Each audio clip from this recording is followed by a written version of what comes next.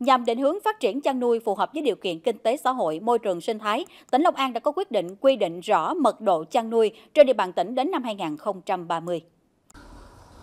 Theo đó, mật độ chăn nuôi toàn tỉnh đến năm 2030 là không quá một đơn vị vật nuôi trên một hecta đất nông nghiệp. Đối với cấp quyện, 6 quyện thị xã dùng đồng thấp 10 có mật độ chăn nuôi không quá 0,1 cho đến 0,5 đơn vị vật nuôi trên 1 hecta đất nông nghiệp. Tùy theo từng địa phương, các huyện Đức Huệ, Thủ Thừa, Bến Lức, Cần Đước và Cần Duộc có mật độ chăn nuôi không quá 0,6 cho đến 0,8 đơn vị vật nuôi trên 1 hecta đất nông nghiệp. Riêng các huyện còn lại và thành phố Tân An, mật độ chăn nuôi không quá 1,1 cho đến 3,5 đơn vị vật nuôi trên 1 hecta đất nông nghiệp.